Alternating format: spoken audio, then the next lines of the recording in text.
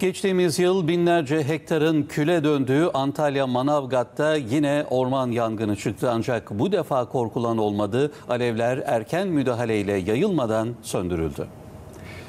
Yangının adresi Manavgat'a bağlı Uzunlar Mahallesi Havut mevkiiydi. Ormanlık alanda henüz bilinmeyen nedenle çıkan yangın ekipleri harekete geçirdi. Kısa sürede bölgeye ulaşan yangın söndürme ekiplerine 3 uçak ve 2 helikopter havadan destek verdi.